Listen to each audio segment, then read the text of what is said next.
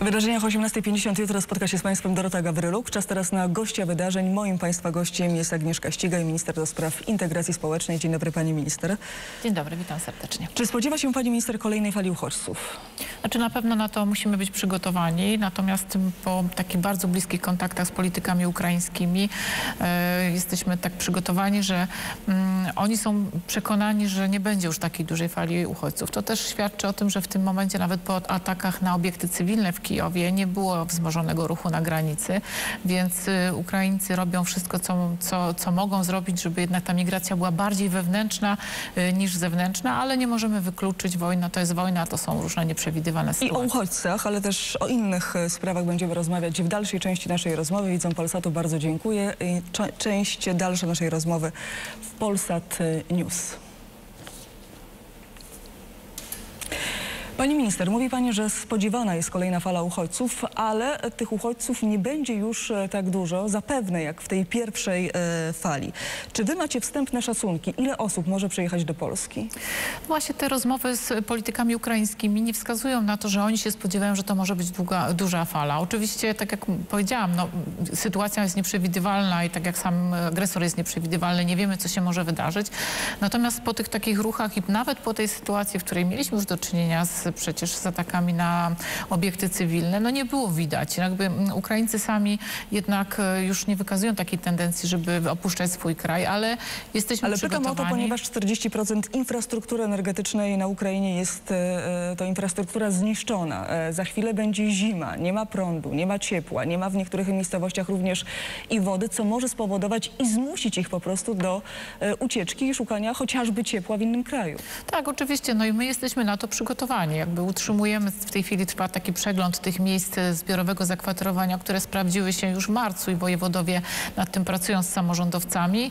E, jesteśmy przygotowani na to, że rzeczywiście będzie trzeba było przyjąć e, taką grupę osób. Natomiast no, staramy się jakby już nie powielać błędów albo być przygotowani w taki sam sposób, przynajmniej jak punkty recepcyjne, jak było to w marcu, więc już mamy schematy, mamy procedury, które są, mamy prawo, przede wszystkim ustawę, która w jakiś sposób już e, reguluje to, więc na pewno e, damy radę. Nie jest to łatwe. Pytam o to, o tą liczbę e, konkretną, ponieważ profesor Maciej Duszczyk z Ośrodka Badań nad Migracjami Uniwersytet Warszawski mówi, że Polska tak naprawdę jest w stanie przyjąć na zimę jeszcze około 500 tysięcy uchodźców, nie więcej. Natomiast trochę się jakby martwi o mm, to, czy Polacy otworzą swoje drzwi dla Ukraińców, a jeżeli otworzą, to na pewno nie na taką skalę, jak miało to miejsce w marcu. No, trzeba pamiętać, że około 1 300 osób to są te, które osoby zostały po 24, więc to już tak jest duża grupa i część z nich cały czas jest jakoś tam wspierana przez Polaków. Oczywiście pół miliona z nich już pracuje, więc jest e, w miarę samodzielna i to jest takie pocieszające. Mamy miejsca zbiorowe zakwaterowania i to są takie miejsca, które mogą służyć e, w trakcie zimy właśnie, choćby nawet z tego powodu, że rzeczywiście ciepło czy ogrzanie będzie e, takim pierwszą potrzebą. Wróciła Pani zatem, e, odpowiadając, e, rozmawiając ze swoją e, odpowiedniczką, czy ten program, który funkcjonuje w Atenach, program, który nazywa się Helios, będzie również wdrożony w Polsce? Właśnie ten program ukończyliśmy opracowywać. On u nas będzie się nazywał Wzajemnie Potrzebni i on trochę ma szerszą formułę niż było to zrealizowane w Atenach. Rzeczywiście on był zrealizowany w Atenach po tej pierwszej fali uchodźców z Syrii i z Afganistanu, kiedy rzeczywiście Grecy przyjęli ich bardzo dużo. I to jest taki program, który jest obliczony na dłuższe działanie. To nie jest ten program taki interwencyjny, gdzie jest schronienie, gdzie jest e, tylko i posiłek, tylko już dalsze em, elementy związane z integracją, z mieszkaniem, z pracą, z edukacją. Kto będzie finansował był- ten program? ten program był re- realizowany w rząd grecki wspólnie z IOM, Międzynarodową Organizacją Migracyjną i był finansowany przez Komisję Europejską. My dokładnie w tym samym partnerstwie, czyli partnerstwo z IOM. Zresztą ta wizyta była na zaproszenie IOM, który e, chce z nami ten projekt e, przygotować i złożyć do Komisji Europejskiej. My już w tej chwili w styczniu startujemy z programem pilotażowym, żeby przetestować te mechanizmy, bo on jest dość innowacyjny. On rzeczywiście zmie- z- zawiera kilka elementów od mieszkania po pracę i e, edukację i on łączy działania, które do tej pory były w różnych resortach, więc stąd też moja funkcja jakby połączyć te wszystkie elementy, ale niemniej jednak będziemy występować do Komisji Europejskiej o taką samą ścieżkę finansowania, jak otrzymała Grecja. Czyli będziecie Państwo dopiero w- występować do Komisji Europejskiej o dofinansowanie tego, finansowanie tego projektu, a póki co kto dany, chociażby ten pilotaż sfinansuje? Kto za to będzie Finansowane będzie z pieniędzy rządu polskiego, więc na to już mamy zgodę rządu i premiera i ten program e, testując będzie finansowany z naszych środków A fizycznie kto będzie wykonywał e, e, te, mm, te zadania? Samorządy poszczególne? Będzie, tak, to będzie zadanie, które będzie wykonywane bez, bezpośrednio z kancelarii premiera, ale przy, przy współpracy z IOM i UNICEF-em oraz samorządami, które zdecydowały się na uczestniczyć w tym programie. Jest dużo chętnych samorządów, które chcą, mm, przede wszystkim mają pracę, bo to jest jakby główny warunek do tego, żeby mają pracę, którą może, mo, mogą oferować osobom, które będą chciały zamieszkać, czy przeprowadzić się z dużych miast do mniejszych miejscowości. No i mieszkanie i miejsca w szkołach, których no, w dużych miastach może braknąć, jeżeli Ukraina przestanie prowadzić zdalne nauczanie. Z tego, co e, udało mi się wyczytać, przewiduje o 100 tysięcy e, na urządzenie mieszkania w pustostanach lub obiektach komunalnych. Pytanie, czy po pierwsze samorządy sobie poradzą i czy państwo polskie w obecnej sytuacji, kiedy jednak oficjalnie też obóz e, e, rządowy o tym mówi, no, sytuacja ekonomiczna w Polsce nie jest najlepsza. Stać? Ja, nas ja chcę powiedzieć, że ten program ma trochę szerszą formułę. On nie będzie tylko adresowany do uchodźców, dlatego że on będzie na przykład do repatriantów czy do um, młodzieży, która opuszcza rodziny zastępcze, więc on będzie taki przetestowaniem narzędzia, który będzie bardzo kompleksowe. I co ciekawe, my już częściowo wszystkie te elementy, które wchodzą w skład tego programu finansowane są przez rząd. Tylko ważne jest to, żeby pospinać je w jeden program, żeby samorząd miał świadomość, że nie tylko na przykład mieszkanie, czy nie tylko e, e, edukacja, ale wszystkie te trzy elementy, które mają krótkotrwale e, zadziałać, a potem stw- stworzyć mechanizm do samodzielnego funkcjonowania społeczności lokalnej. Jest bardzo duży odzew. Zresztą to jest Czy program... takie mieszkania przekształcone na przykład z pustostanów będzie można potem wykupić? Nie, bo to będą mieszkania, które mają być ściągnięte z rynku prywatnego na tanie wynajęcie i to będą mieszkania, które ktoś odda na przykład społecznej agencji najmu, no to 5 lat, żeby mógł wynajmować, a kontynuacją tego będzie na przykład możliwość wykupienia mieszkanów w programach SIM-u, tak zwanych społecznych inicjatyw mieszkaniowych, które już są realizowane w 47 miejscach w Polsce przy udziale prawie 130 e, samorządów i te mieszkania się budują. To potrwa 3-4 lata e, z tego rządowego programu, ale będzie to taki jakby bypass, czyli ktoś może wynająć tanie mieszkanie, rąk, e, które, które wcześniej było w rękach prywatnych, na przykład na terenach wiejskich bardzo dużo takich domów jednorodzinnych, a potem będzie mógł być kandydatem czy klientem takiej społecznej inicjatywy mieszkaniowej. Pytam o to finansowanie, bo skoro pilotaż e, wchodzi e, i e, będzie być może później kontynuowany, taki program wchodzi w życie, to Państwo macie już policzone koszty, ile taki program kosztuje.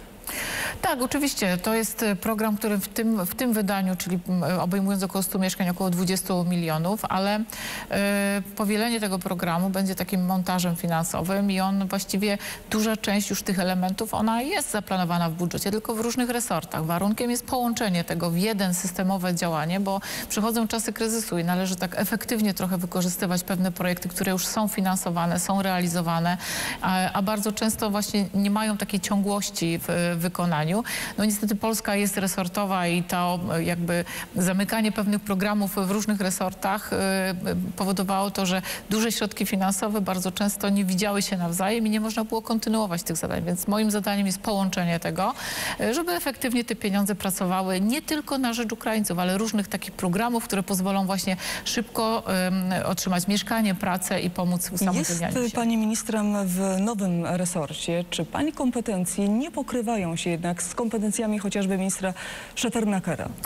E, My bardzo współpracujemy z ministrem Szefernakerem. Zadaniem pana ministra Szefernakera było zorganizowanie bardzo sprawne, zresztą jak widać, tej pomocy takiej pierwszej i od tych elementów, o które pani mnie pytała, czyli gdyby się pojawiła nowa fala uchodźców i te wszystkie sprawy, które potrzebują natychmiastowego działania. Schronienie, mieszkanie, e, koordynacja przez wojewodów. Natomiast moim zadaniem jest em, wprowadzanie programów międzyresortowych, które będą pozwalały na dobre funkcjonowanie osób, które się już zdecydują u nas e, zostać. I to też będzie tak na przykładzie uchodźców, ale takie elementy, które będą na przykład dobrze pasowały do programów e, usamodzielniania osób niepełnosprawnych, do deinstytucjonalizacji. To jest trochę inne podejście do polityki e, społecznej, łączącej mieszkaniowe cele, edukację, ochronę zdrowia czy pracę, które do tej pory były trochę osobno, więc to absolutnie nie ma pokrycia, ale wymaga bardzo ścisłej współpracy i to się też dzieje. Trzeba szukać oszczędności, takie głosy płyną z obozu władzy. Czy te oszczędności będą również szukane w tak zwanej budżetówce? Czy rząd Mateusza Morawieckiego powinien zacząć od siebie, bo według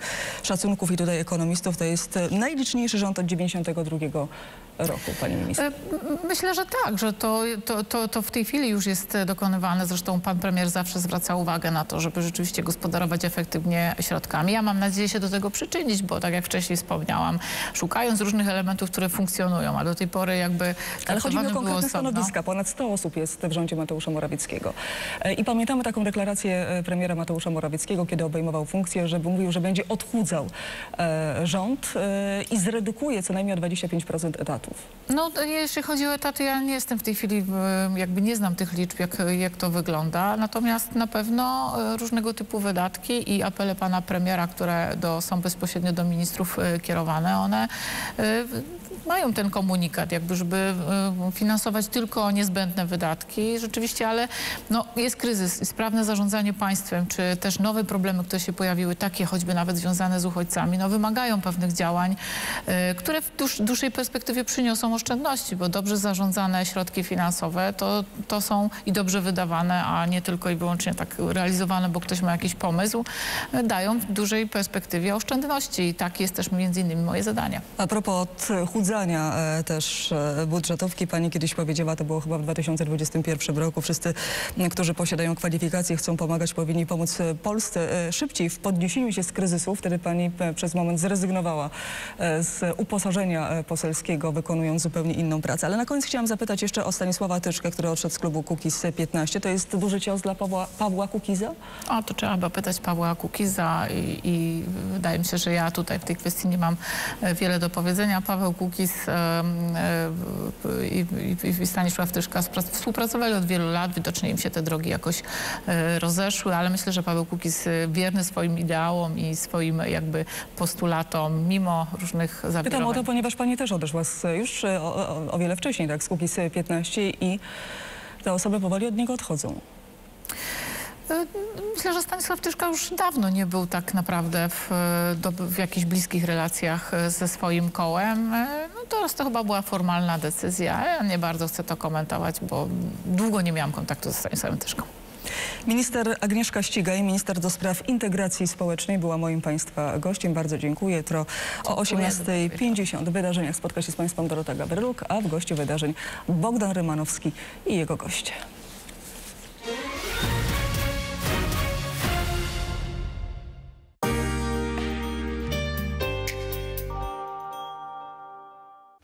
Kinder Country. Pięć wyselekcjonowanych, prażonych zbóż, mleczne nadzienie i delikatna, pyszna czekolada. Zasmakuj radości życia z Kinder Country.